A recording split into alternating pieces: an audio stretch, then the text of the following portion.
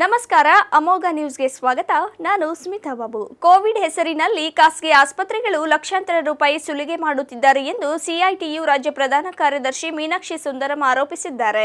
ರೈತರು, ಕಾರ್ಮಿಕರು, ಕೂಲಿಕಾರರ ಐಕ್ಯ ಪ್ರತಿಭಟನೆ ಇದೇ ತಿಂಗಳು ಐದರಂದು ರಾಜ್ಯದ ಎಲ್ಲ ಗ್ರಾಮ, ತಾಲೂಕು ಹಾಗೂ ಜಿಲ್ಲಾಧಿಕಾರಿಗಳ ಕಚೇರಿ ಮುಂದೆ ಪ್ರತಿಭಟನೆ ನಡೆಸುವುದಾಗಿ ಸಿಐಟಿಯುನ ರಾಜ್ಯ ಪ್ರಧಾನ ಕಾರ್ಯದರ್ಶಿ ಮೀನಾಕ್ಷಿ ಸುಂದರಂ ಹೇಳಿದ್ದರು. ತುಮಕೂರಿನಲ್ಲಿ ಸುದ್ದಿಗೋಷ್ಠಿಯಲ್ಲಿ ಮಾತನಾಡಿದ ಅವರು, ಶ್ರೀಮಂತ ಕಂಪನಿಗಳಿಗೆ ತೆರಿಗೆ ಕಟ್ಟಲು ವರ್ಷಗಟ್ಟಲೆ ಕಾಲಾವಕಾಶ ನೀಡುತ್ತಿದೆ. ಆದರೆ ಬಡವರು ಕೂಲಿಕಾರರ ಮೇಲೆ ಪ್ರಹಾರ ನಡೆಸುವುದು ಕೇಂದ್ರ ಸರ್ಕಾರದ ಧೋರಣೆಯನ್ನ ತೀವ್ರವಾಗಿ ಖಂಡಿಸಿದರು. ಕೊರೋನಾ ಅಟ್ಟಹಾಸದಿಂದಾಗಿ ಎಲ್ಲೆಡೆ ಆರ್ಥಿಕ ಚಟುವಟಿಕೆಗಳು ಸ್ಥಗಿತಗೊಂಡಿದೆ. ಸಹಸ್ರಾರು ಮಂದಿ ಉದ್ಯೋಗ ಕಳೆದುಕೊಂಡು ಅತಂತ್ರ ಪರಿಸ್ಥಿತಿ ಎದುರಿಸುತ್ತಿದ್ದಾರೆ ಎಂದರು. ಕೋವಿಡ್ ಹೆಸರಿನಲ್ಲಿ ಖಾಸಗಿ ಆಸ್ಪತ್ರೆಗಳು ಲಕ್ಷಾಂತರ ಹಣವನ್ನ ಸುಲಿಗೆ ಮಾಡುತ್ತಿದ್ದಾರೆ ಎಂದು ಮೀನಾಕ್ಷಿ ಸುಂದರಂ ಟೀಕಿಸಿದರು.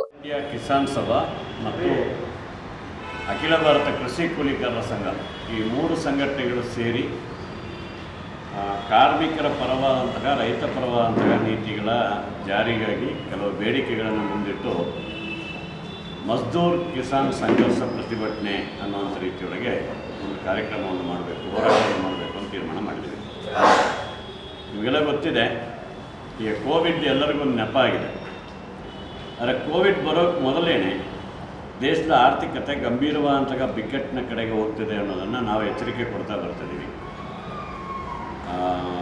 ಸರ್ಕಾರದ ಕೈಯಲ್ಲಿ ದುಡ್ಡಿಲ್ಲ. ಈಗ ಅವರು ರಾಜ್ಯಗಳಿಗೆ ಕೊಡಬೇಕಾದಂತಹ ಜಿ ಎಸ್ ಟಿ ಪಾಲನ್ನು ಕೊಡೋಕ್ಕಾಗಲ್ಲ, ಅವ್ರು ಸಾಲಕ್ಕೆ ಹೋಗಬೇಕು ಅಂತ ತೀರ್ಮಾನ ಮಾಡಿದೆ ಈಗ ಕರ್ನಾಟಕ ರಾಜ್ಯ ಸರ್ಕಾರ ಸುಮಾರು ಹದಿನೆಂಟು ಸಾವಿರ ಕೋಟಿ ರೂಪಾಯಿ ಹತ್ರ ಹತ್ರ ಸಾಲ ತಗೋಬೇಕು ಅನ್ನುವಂಥ ತೀರ್ಮಾನಕ್ಕೂ ಆಪ್ಷನ್ ಒನ್ ಏನಿದೆ, ಅದನ್ನು ಆಯ್ಕೆ ಮಾಡ್ಕೊಳ್ಳಿಕ್ಕೆ ತೀರ್ಮಾನ ಮಾಡಿದ್ದಾರೆ. ಸರ್ಕಾರದ ಕೈಯಲ್ಲಿ ಹಣ ಇಲ್ಲ. ಆದರೆ ಅಂಬಾನಿಯ ರಿಲಯನ್ಸ್ ಗ್ರೂಪು ಫ್ಯೂಚರ್ ಗ್ರೂಪನ್ನು ಟೇಕ್ ಓವರ್ ಮಾಡ್ತಾರೆ ಇಪ್ಪತ್ತು ಸಾವಿರ ಕೋಟಿ ರೂಪಾಯಿಗೆ. ಇಡೀ ದೇಶದಲ್ಲಿ ಹಲವಾರು ಭಾರತೀಯ ದೊಡ್ಡ ಕಂಪನಿಗಳು, ಈ ಅಂಬಾನಿ, ಅದಾನಿ, ಇನ್ನೂ ಕೆಲವು ಈ ರೀತಿಯ ಇರುವಂತಹ ಕೆಲವು ಕಂಪನಿಗಳು, ಸಾವಿರಾರು ಕೋಟಿ ರೂಪಾಯಿಗಳು ಟೇಕ್ ಓವರ್ ಮಾಡಲಿಕ್ಕೆ ಅವ್ರ ದುಡ್ಡಿದೆ. ಎಲ್ಲಿಂದ ಬರ್ತದೆ? ಬ್ಯಾಂಕ್ಗಳೇ ಕೊಡ್ತಾ ಇರುತ್ತೆ. ಅವರೇನು ತಮ್ಮ ಸ್ವಂತ ಹಣದಿಂದ ಕೊಡ್ತಾ ಇಲ್ಲ. ರೈತರ ಸಾಲ ಮನ್ನಾ ಮಾಡಲಿಕ್ಕೆ ದುಡ್ಡಿಲ್ಲ. ಆದರೆ ದೊಡ್ಡ ಕಂಪನಿಗಳಿಗೆ ರಿಯಾಯಿತಿ ಕೊಡಲಿಕ್ಕೆ ದುಡ್ಡಿದೆ. ಸರ್ಕಾರವು ಪ್ರತಿಯೊಬ್ಬರಿಗೂ ಉಚಿತವಾಗಿಯೂ ತಪಾಸಣೆ ಮಾಡಿಸಿ ಔಷಧೋಪಾರ ಒದಗಿಸಬೇಕು. ಮುಂದಿನ ಆರು ತಿಂಗಳ ಕಾಲ ಮಾಸಿಕ ಏಳು ಸಾವಿರದ ಐನೂರು ಕೋವಿಡ್ ಪರಿಹಾರ ನೀಡಬೇಕೆಂದು ಆಗ್ರಹಿಸಿದರು. ಸುದ್ದಿಗೋಷ್ಠಿಯಲ್ಲಿ ಸಿಐಟಿಯುನ ಮುಖಂಡರುಗಳಾದ ಮಹಾಂತೇಶ್ ಲೋಕೇಶ್, ಬಸವರಾಜ್, ಸೈಯದ್ ಮುಜೀಬ್ ಎನ್ಕೆ ಸುಬ್ರಹ್ಮಣ್ಯ ಮತ್ತಿತರರು ಪಾಲ್ಗೊಂಡಿದ್ದರು. ಕೋಲಾರದಲ್ಲಿ ಪವರ್ ಸ್ಟಾರ್ ಪವನ್ ಕಲ್ಯಾಣರವರ ನಲವತ್ತೊಂಬತ್ತನೆಯ ಹುಟ್ಟುಹಬ್ಬದ ಅಂಗವಾಗಿ ಅವರ ಅಭಿಮಾನಿಗಳು ದೇವರಿಗೆ ವಿಶೇಷ ಪೂಜೆ ಸಲ್ಲಿಸಿ ಕೇಕ್ ಕತ್ತರಿಸಿ ಸಂಭ್ರಮಿಸಿದರು. ಪವರ್ ಸ್ಟಾರ್ ಪವನ್ ಕಲ್ಯಾಣ್ ಅಭಿಮಾನಿಗಳು ನಿರಂತರವಾಗಿ ಜನಸೇವೆಯಲ್ಲಿ ತೊಡಗಿಸಿಕೊಳ್ಳಬೇಕೆಂದು ಅಖಿಲ ಕರ್ನಾಟಕ ಪವರ್ ಸ್ಟಾರ್ ಪವನ್ ಕಲ್ಯಾಣ್ ಅಭಿಮಾನಿಗಳ ಸೇವಾ ಸಂಘದ ಕೋಲಾರ ಘಟಕದ ಜಿಲ್ಲಾಧ್ಯಕ್ಷ ಆನಂದ್ ಕರೆ ನೀಡಿದರು. ನಗರದ ಕೆಎಸ್ಆರ್ಟಿಸಿ ಬಸ್ ನಿಲ್ದಾಣದ ಬಳಿ ಇರುವ ಶ್ರೀ ಆಂಜನೇಯ ದೇವಾಲಯದಲ್ಲಿ ಪವನ್ ಕಲ್ಯಾಣ್ ಅವರ ನಲವತ್ತೊಂಬತ್ತನೇ ಹುಟ್ಟುಹಬ್ಬದ ಅಂಗವಾಗಿ ವಿಶೇಷ ಪೂಜೆ ಸಲ್ಲಿಸಿ ಕೇಕ್ ಕತ್ತರಿಸಿ ಮಾತನಾಡಿದ ಅವರು, ಬಡವರಿಗೆ ವೃದ್ಧಾಶ್ರಮಗಳಿಗೆ ಹಾಗೂ ಬಡ ವಿದ್ಯಾರ್ಥಿಗಳಿಗೆ ನಮ್ಮ ಸಂಘದ ನೆರವು ಸದಾ ದೊರೆಯಲಿದೆ ಎಂದರು.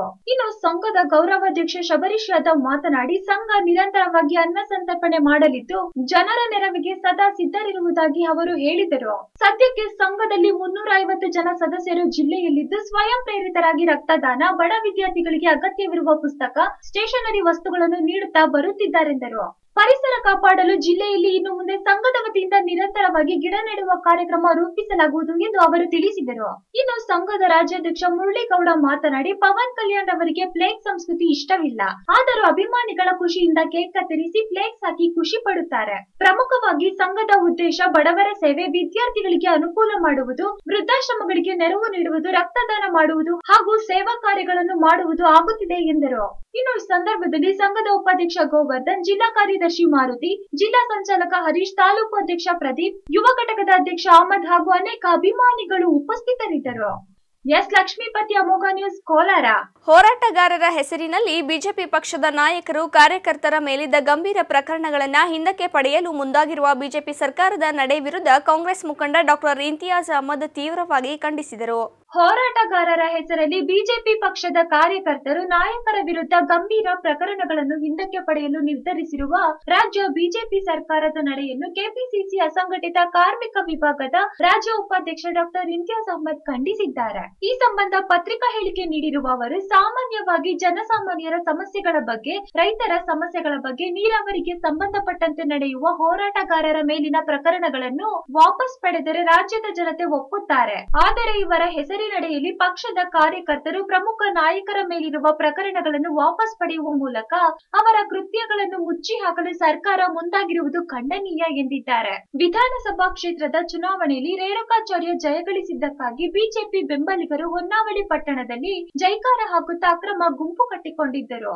ಅಲ್ಲದೆ ಕಾಂಗ್ರೆಸ್ ಅಭ್ಯರ್ಥಿ ಎಚ್ ಪಿ ಮಂಜಪ್ಪ ಮನೆ ಹತ್ತಿರ ಬೈದಾಡಿಕೊಂಡು ಸುತ್ತಾಡಿದ್ದರು.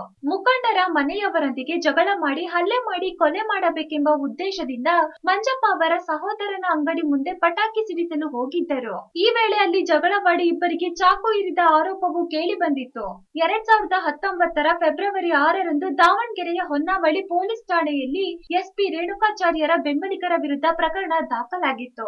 ಹುಣಸೂರು ಪಟ್ಟಣದಲ್ಲಿ ಎರಡ್ ಸಾವಿರದ ಹದಿನೇಳರ ಡಿಸೆಂಬರ್ ಮೂರರಂದು ಹನುಮ ಜಯಂತಿಯಂದೇ ನಿಷೇಧಾಜ್ಞೆ ಇದ್ದರೂ ಬೆಂಬಲಿಗರೊಂದಿಗೆ ಮೆರವಣಿಗೆ ನಡೆಸಲು ಪ್ರಯತ್ನಿಸಿದ ಸಂಸದ ಪ್ರತಾಪ್ ಸಿಂಹ ಪೊಲೀಸರು ಹಾಕಿದ್ದ ಬ್ಯಾರಿಕೇಡ್ ಮೇಲೆ ಕಾರನ್ನು ವೇಗವಾಗಿ ನುಗ್ಗಿಸಿದ ಆರೋಪಕ್ಕೊಳಗಾಗಿದ್ದರು. ಈ ಸಂಬಂಧ ಬಿಳಿಕೆರೆ ಠಾಣೆಯಲ್ಲಿ ಸಂಸದ ವಿರುದ್ಧ ಕ್ರಿಮಿನಲ್ ಪ್ರಕರಣ ದಾಖಲಾಗಿತ್ತು. ಜೊತೆಗೆ ಹನುಮ ಜಯಂತಿ ಪ್ರಕರಣ ಮೆರವಣಿಗೆ ನಡೆಸಿದ ಹಿನ್ನೆಲೆಯಲ್ಲಿ ಹುಣಸೂರು ಪಟ್ಟಣ ಠಾಣೆಯಲ್ಲಿ ದಾಖಲಾಗಿರುವ ಬೆಂಬಲಿಗರ ವಿರುದ್ಧದ ಪ್ರಕರಣವನ್ನು ವಾಪಸ್ ಪಡೆಯಲು ನಿರ್ಧರಿಸಲಾಗಿದೆ ಎಂದು ಆರೋಪಿಸಲಾಗಿದೆ. ಕಳೆದ ವಾರ ನಡೆದ ಸಂಪುಟ ಸಭೆಯಲ್ಲಿ ಸರ್ಕಾರ ಹೋರಾಟಗಾರರ ಹೆಸರಲ್ಲಿ ತನ್ನದೇ ಪಕ್ಷದ ಪ್ರಮುಖ ನಾಯಕರು ಹಾಗೂ ಪಕ್ಷದ ಕಾರ್ಯಕರ್ತರ ಗಂಭೀರ ಸ್ವರೂಪದ ಅರವತ್ತೆರಡು ಕ್ರಿಮಿನಲ್ ಮೊಕದ್ದಮೆಗಳನ್ನು ವಾಪಸ್ ಪಡೆಯಲು ಅನುಮೋದನೆ ನೀಡಿರುವುದು ದುರಂತ ಎಂದಿದ್ದಾರೆ. ಇನ್ನು ಸಂಘಟನೆ ಕಾರ್ಯಕರ್ತರನ್ನು ರಕ್ಷಿಸುವ ಉದ್ದೇಶಕ್ಕಾಗಿ ವಾಪಸ್ ಪಡೆಯುತ್ತಿರುವುದು ಆತಂಕವನ್ನುಂಟು ಮಾಡಿದೆ ಎಂದು ಡಾಕ್ಟರ್ ಇಂತಿಯಾಜ್ ಅಹಮದ್ ಹೇಳಿದ್ದಾರೆ. ಗುಡಿಬಂಡೆಯಲ್ಲಿ ಯೂರಿಯಾ ಗೊಬ್ಬರ ಪಡೆಯಲು ರೈತರು ಸರದಿಯಲ್ಲಿ ನಿಂತರೂ ಸಕಾಲದಲ್ಲಿ ವಿತರಿಸದೆ ವಿಳಂಬ ಮಾಡುತ್ತಿದ್ದಾರೆ ಎಂದು ರೈತರು ದೂರಿದ್ದಾರೆ. ತಮ್ಮ ಬೆಳೆಗೆ ಅವಶ್ಯಕವಾದ ಯೂರಿಯಾ ಪಡೆಯಲು ಬೆಳಗ್ಗೆ ಆರು ಗಂಟೆಯಿಂದ ಸರದಿಯಲ್ಲಿ ನಿಂತ ರೈತರು ಯೂರಿಯಾ ವಿತರಣೆಯ ನಿಧಾನಗತಿಯ ಬಗ್ಗೆ ಅಸಮಾಧಾನ ವ್ಯಕ್ತಪಡಿಸಿದರು. ತಾಲೂಕಿನಲ್ಲಿ ಮಳೆಯಿಂದಾಗಿ ಕೃಷಿ ಚಟುವಟಿಕೆ ಚುರುಕುಗೊಂಡಿದ್ದು ಈ ಕುರಿತಂತೆ ಯೂರಿಯಾ ಗೊಬ್ಬರ ಖರೀದಿಸಲು ಬೆಳಗಿನಿಂದ ಸರದಿಯಲ್ಲಿ ನಿಂತಿದ್ದರು. ಒಬ್ಬರಿಗೆ ಒಂದು ಮೂಟೆಯಂತೆ ವಿತರಿಸಲಾಗುತ್ತಿದ್ದು, ಈ ವೇಳೆ ಸರ್ವರ್ ಸಮಸ್ಯೆಯಿಂದಾಗಿ ವಿತರಣೆ ನಿಧಾನಗತಿಯಲ್ಲಿ ಸಾಗಿತ್ತು. ಈ ಸಮಯದಲ್ಲಿ ಪ್ರಾಂತ ರೈತ ಸಂಘದ ಕಾರ್ಯದರ್ಶಿ ಲಕ್ಷ್ಮೀನಾರಾಯಣ್ ಮಾತನಾಡಿ, ರೈತರಿಗೆ ಅವಶ್ಯಕವಾದ ಗೊಬ್ಬರ ವಿತರಣೆಯ ಜವಾಬ್ದಾರಿ ಸರ್ಕಾರ ಹಾಗೂ ಅಧಿಕಾರಿಗಳದ್ದು. ಈ ವೇಳೆ ಅವಶ್ಯಕತೆ ಇರುವಷ್ಟು ಗೊಬ್ಬರವನ್ನು ವಿತರಿಸಬೇಕು. ಬಯೋಮೆಟ್ರಿಕ್ ಪದ್ಧತಿಯನ್ನು ತೆಗೆದುಹಾಕಬೇಕು. ನಿರ್ಲಕ್ಷ್ಯ ತೋರುತ್ತಿರುವ ಅಧಿಕಾರಿಗಳನ್ನು ಕೂಡಲೇ ಎತ್ತಂಗಡಿ ಮಾಡಬೇಕೆಂದು ಆಗ್ರಹಿಸಿದರು. ನಾಲ್ಕು ವಾರಗಳ ವಾರ ದಿವಸಗಳಿಂದ ಇಡೀ ಜಿಲ್ಲೆ ಅಧಿಕಾರಿಗಳು ಮತ್ತು ತಾಲೂಕಿನ ಕೃಷಿ ಅಧಿಕಾರಿಗಳಿಗೆ ಯೂರಿಯಾ ಅಭಾವದ ಬಗ್ಗೆ ನಾವು ಒತ್ತಾಯಿಸ್ತಾ ಇದ್ದೀವಿ. ಚಿಕ್ಕಬಳ್ಳಾಪುರದಲ್ಲಿ ಜೆ ಡಿ ಅವ್ರ ಜೊತೆ ಮಾತಾಡಿದ್ರೆ ಫೆಡರೇಷನಲ್ಲಿ ಬೇಜಾನ್ ಯೂರಿಯಾ ಇದೆ ಅಂತ ಹೇಳ್ತಾರೆ. ಇಲ್ಲಿನ ಕೃಷಿ ಅಧಿಕಾರಿಗಳ ಬಗ್ಗೆ ಮಾತಾಡಿದ್ರೆ ತರಿಸ್ತೀವಿ ರೀ, ಏನು ತೊಂದರೆ ಇಲ್ಲ ನಿಮಗೆ. ರೈತರಿಗೆ ನಾವೆಲ್ಲ ತುಂಬ ಅನುಕೂಲ ಮಾಡಿದ್ದೀವಿ ಅಂತೇಳಿ ಉಡಾಫೆ ಉತ್ತರಗಳನ್ನು ಇವತ್ತು ನಮ್ಮ ಗುಡ್ಬಾಣೆ ತಾಲೂಕಿನ ಕೃಷಿ ಅಧಿಕಾರಿ ಹೇಳ್ತಿದ್ದಾರೆ. ಇವರು ರೈತರಿಗೆ ಅನುಕೂಲ ಮಾಡಿದರೆ ಬಹುಶಃ ಈ ಪರಿಸ್ಥಿತಿ ನಿರ್ಮಾಣ ಆಗ್ತಾ ಇತ್ತಾ? ನಾಲ್ಕೈದು ದಿವಸದ ಒಳಗಡೆ ಬೆಳೆಗಳಿಗೆ ಯೂರಿಯಾ ಕೊಡ್ತಾ ಇದ್ದರೆ ಇಳುವರಿ ಕಡಿಮೆ ಆಗ್ತಾ ಅಂತೇಳಿ ರೈತರು ಬೊಬ್ಬೆ ಆಗ್ತಾ ಇದ್ದಾರೆ ಆದರೆ ಕನಿಷ್ಠ ಪರಿಜ್ಞಾನ ಕನಿಷ್ಠ ಕೃಷಿಯ ಬಗ್ಗೆ ಕನಿಷ್ಠ ತಿಳುವಳಿಕೆ ಇದ್ದಂಥ ಒಬ್ಬ ಬೇಜವಾಬ್ದಾರಿ ಅಧಿಕಾರಿಯಿಂದ ಈ ರೀತಿಯಾದಂಥ ವಾತಾವರಣ ನಿರ್ಮಾಣ ಆಗಿದೆ.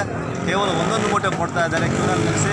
ಬಹುತೇಕ ಜನರಿಗೆ ತಂಬು ಬರ್ತಾ ಇಲ್ಲ, ವಾಪಸ್ ಹೋಗ್ತಾ ಇದ್ದಾರೆ. ಒಂದು ಒಂದು ಇಬ್ಬರು, ಮೂರು ಮಹಿಳೆಯರು ಕಣ್ಣಲ್ಲಿ ನೀರು ಹಾಕ್ಕೊಂಡು ನಮ್ಗೆ ಯೂರಿಯಾ ಸಿಗ್ತಾ ಇಲ್ಲ, ಏನು ಮಾಡೋದು ನಮ್ಮ ತಂಬು ಬರ್ತಾ ಇಲ್ವಂತೆ ಅಂತೇಳಿ ಹತ್ಕೊಂಡು ವಾಪಸ್ ಹೋದ್ರು ಇಲ್ಲಿಂದ. ಈ ಎಲ್ಲ ಅನಾಹುತಗಳಿಗೆ ಕಾರಣ ಈ ಅಧಿಕಾರಿಗಳೇ.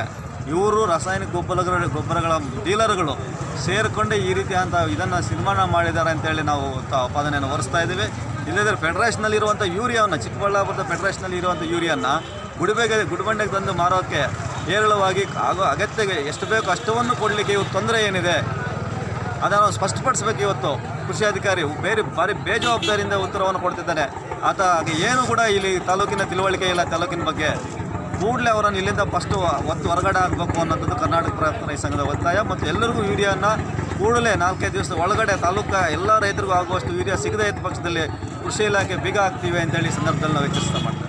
ಇದೇ ಸಮಯದಲ್ಲಿ ಮಾತನಾಡಿದ ಸೊಸೈಟಿಯ ಕಾರ್ಯದರ್ಶಿ ಅಶ್ವತ್ಥಪ್ಪ ಆಗಸ್ಟ್ನಲ್ಲಿ ಸುಮಾರು ನೂರು ಟನ್ ಯೂರಿಯಾ ಪೂರೈಸಲಾಗಿದ್ದು, ಸೆಪ್ಟೆಂಬರ್ ತಿಂಗಳ ಕೋಟಾದಲ್ಲಿ ಈಗ ನಲವತ್ತು ಟನ್ ಬಂದಿದೆ. ಪ್ರತಿ ರೈತರಿಗೂ ಯೂರಿಯಾ ಪೂರೈಸಲು ಅಧಿಕಾರಿಗಳ ಜೊತೆ ಎಲ್ಲಾ ಸಿಬ್ಬಂದಿ ಶ್ರಮ ವಹಿಸುತ್ತಿದ್ದು, ರೈತರು ಸ್ವಲ್ಪ ಸಹನೆಯಿಂದ ಸಹಕರಿಸಿ ಗೊಬ್ಬರ ಖರೀದಿಸಲು ಮನವಿ ಮಾಡುವುದಾಗಿ ತಿಳಿಸಿದರು. ಕಳವು ಆರೋಪದ ಮೇರೆಗೆ ರಾಜ್ಯದ ಚಾಲಕನನ್ನು ಆಂಧ್ರದ ಕಡಪ ಜಿಲ್ಲೆಯ ಮುದನೂರು ಗ್ರಾಮದಲ್ಲಿ ಮರಕ್ಕೆ ಕಟ್ಟಿ ಹಾಕಿ ಥಳಿಸಿರುವ ಘಟನೆ ಬೆಳಕಿಗೆ ಬಂದಿದೆ.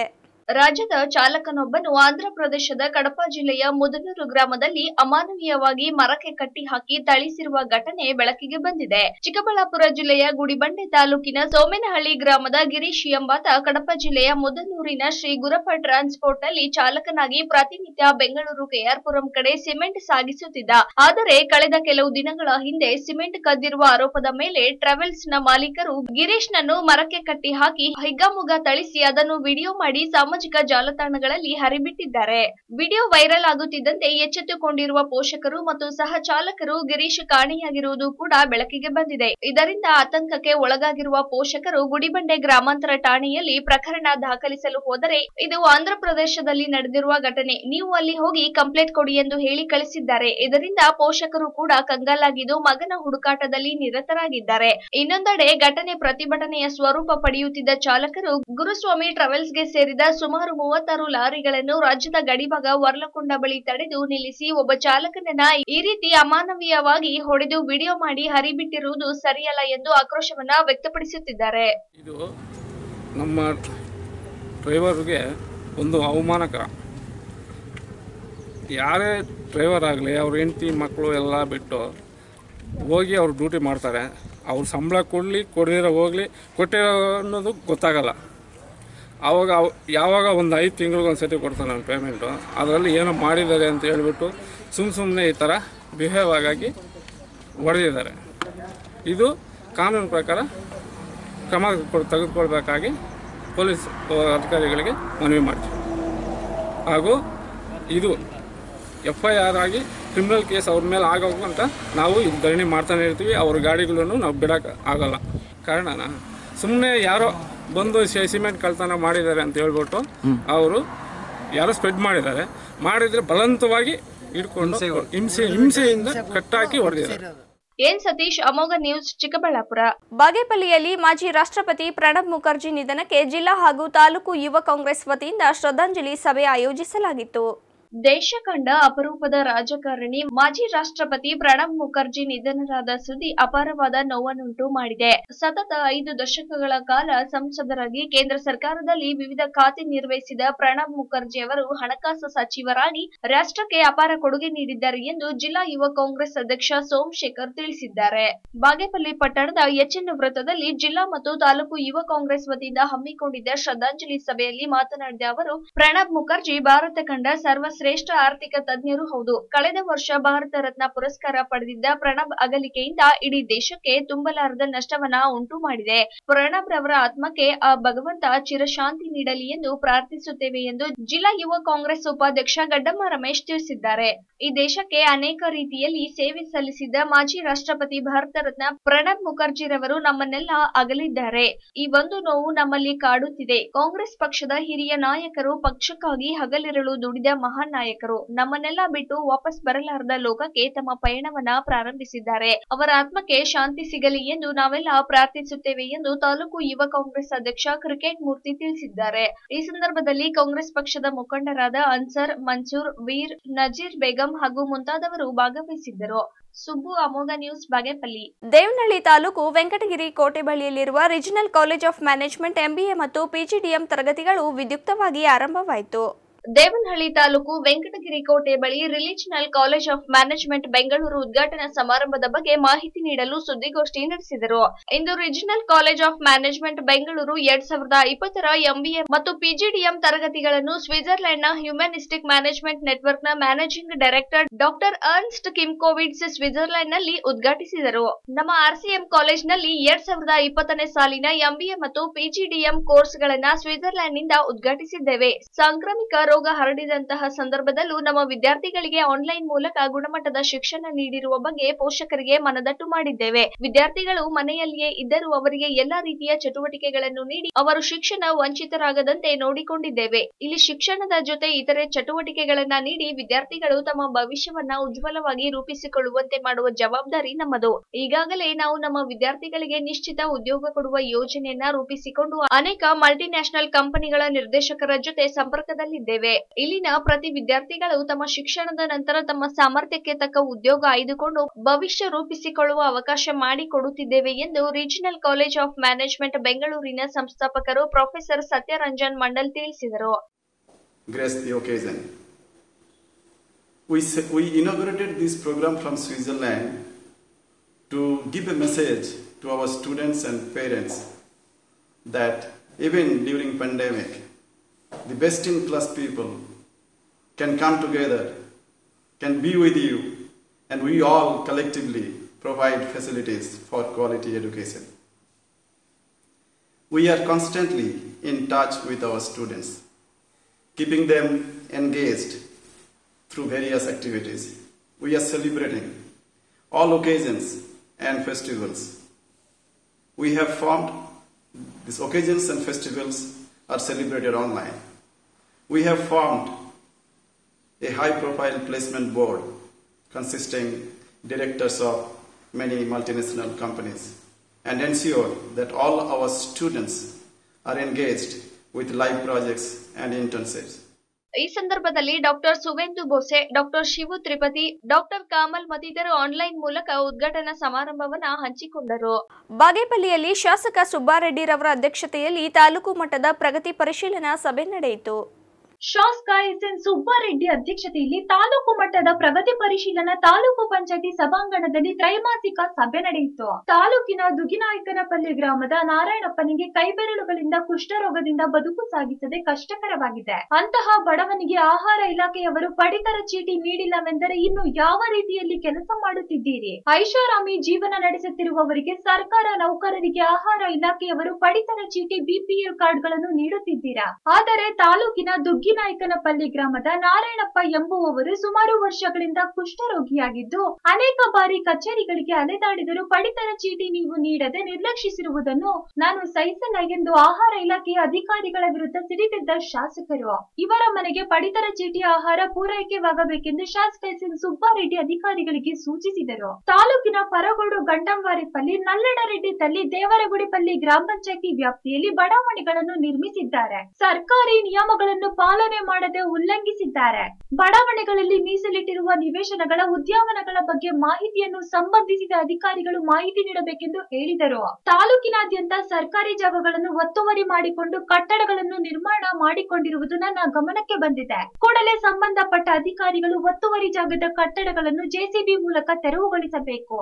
ಎಷ್ಟೇ ಪ್ರಭಾವಿ ವ್ಯಕ್ತಿಗಳಾದರೂ ಪೊಲೀಸ್ ಇಲಾಖೆ ರಕ್ಷಣೆ ಪಡೆದು ಒತ್ತುವರಿ ತೆರವು ಕಾರ್ಯಾಚರಣೆ ನಡೆಸಿ ಸರ್ಕಾರದ ಆಸ್ತಿಯನ್ನು ನಾವು ರಕ್ಷಣೆ ಮಾಡಬೇಕು. ಅದು ನಮ್ಮ ಜವಾಬ್ದಾರಿ ಎಂದರು. ಅಧಿಕ ಭಾರವಾದ ಗ್ರಾನೈಟ್ ಹಾಗೂ ಸಿಮೆಂಟ್ ಲಾರಿಗಳು ಸಂಚರಿಸುತ್ತಿರುವುದರಿಂದ ರಸ್ತೆಗಳು ಹಾಳಾಗುತ್ತಿವೆ. ಒಂದು ಕಡೆ ನಾನು ಅನುದಾನಗಳು ತಂದು ರಸ್ತೆಗಳು ಮಾಡಿಸುತ್ತಿದ್ದರೆ ಮತ್ತೊಂದು ಕಡೆ ಅಧಿಕ ತೂಕದ ಕಲ್ಲು ದಿಮ್ಮುಗಳನ್ನು ಸಾಗಿಸುವ ಲಾರಿಗಳು ಹಾಗೂ ಸಿಮೆಂಟ್ ಲಾರಿಗಳು ಸಂಚರಿಸುತ್ತಿರುವುದರಿಂದ ರಸ್ತೆಗಳು ಹಾಳಾಗುತ್ತಿವೆ. ಸಾರ್ವಜನಿಕ ವಾಹನಗಳು ಹೆಚ್ಚಾಗಿ ಸಂಚರಿಸುತ್ತಿದ್ದರೂ ತಿಂಗಳಿಗೆ ಎಪ್ಪತ್ತೊಂದು ಲಕ್ಷ ರಾಜಸ್ಥ ಶೇಖರಿಸಬೇಕಿದೆ. ಆದರೆ ಆರ್ಟಿಒ ಅಧಿಕಾರಿಗಳು ಮಾತ್ರ ಕೇವಲ ಐದು ಪಾಯಿಂಟ್ ಐವತ್ತು ಲಕ್ಷ ಶೇಖರಿಸಿರುವುದು ಹಾಸ್ಯಾಸ್ಪದವಾಗಿದೆ.